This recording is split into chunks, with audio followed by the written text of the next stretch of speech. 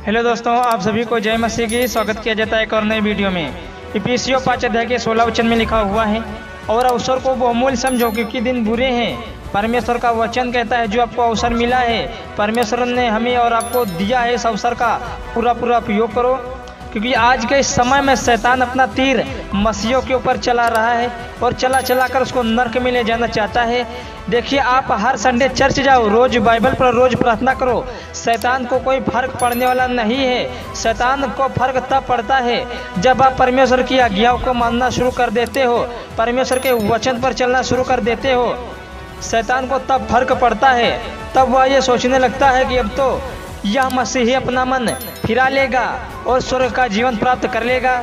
तब शैतान उस मसीही को उसी पाप में, उसी गलत गलत पाप में गिराती हैं, गिराना शुरू कर देती हैं जो एक मसीही को नहीं करना चाहिए। शैतान का एक ही मकसद है, अपने साथ लाखों करोड़ों आत्माओं को नर्क में ले जाना। मेरे भाइयों और बहनों, मेरा मकसद है आप सभी लोगों को पाप से बचाना। क्योंकि परमेश्वर पवित्र है और जहाँ परमेश्वर रहता है, वह जगह पवित्र है और वहाँ सिर्फ़ पवित्र लोग ही जा पाएँगे मेरे प्रियो। क्योंकि आज मसीही को सिर्फ़ अच्छा ही अच्छा सुनने की आदत पड़ गई है। किसी को और खरी शिक्षा पसंद ही नहीं है। बस चंगाई चंगाई और मेरा घर बन जाए, बस चंगाई मिल जाए। बस यही हो रहा है आज। आज यूट्यूब पर अंत के बारे में बहुत कम बताया जा रहा है। अगर आपके जीवन में पाप हैं तो आइए और परमेश्वर के सामने घुटने टेकिए और परमेश्वर से बोल दीजिए कि मुझसे हो गई गलती। मगर परमेश्वर आपको माफ़ कर देगा कि पाप क्षमा करने का अधिकार सिर्फ़ यीशु मसीह को दिया गया है। अभी आपके पास पूरा समय है, अवसर को बहुमूल्य समझो, आँसू बहा लो, पश्चाताप कर लो और लौट आओ यीशु के पास। परमेश्वर आपको माफ़ कर देगा, मेरे प्रियो, मगर हमें पाप नहीं करना है, क्योंकि अंत का दिन चल रहा है। नीति वचन पाँच अध्याय के नौ वचन में लिखा हुआ है, क्योंकि पराय स्त्री के होठों से मधु टपकता है और उसकी बातें तेल से भी अधिक चिकनी होती हैं। बीस वचन में, हे मेरे पुत्र, तू अपरिचित स्त्री पर क्यों मोहित हो और पराय स्त्री को क्यों छाती से लगाए? अपरिचित का मतलब है जिसकी जानकारी ना हो, अजनबी, क्योंकि मनुष्य के मार्ग युवा की दृष्टि से छिपे नहीं है और वह उसके सब मार्गों पर ध्यान करता है।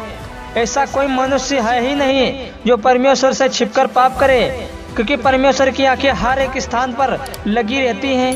दुष्ट अपने ही अधर्म के कामों में फंसेगा और अपने ही पाप के बंधन में फंसा हुआ रहेगा और शिक्षा प्राप्त की, और शिक्षा प्राप्त किए बिना ही मर जाएगा और अपनी मूर्खता के कारण इधर उधर भटकता रहेगा। आज मनुष्य ने अपने लिए खुद नर्क का दरवाज़ा खोला है। आज मनुष्य अपनी शांति के लिए पैसों के लिए मनुष्य अपनी आत्मा को नाश कर देता है, क्योंकि हमने जीवित खुदा के न्याय को ललकारा है, जो पवित्रता के कारण महाप्रतापी है। जीवन और मरण की बातें आपके सम्मुख रखी हैं। फैसला भी आपका है, चुनाव भी आपका है। चुन लो जिसको चुनना चाहते हो, जीवन या मृत्यु। प्रभु आप सभी को बहुत आशीष दे, आप सभी मसीह भाई को जय मसीह की। इस वीडियो को दबा के शेयर करें अपने मसीह भाई के पास।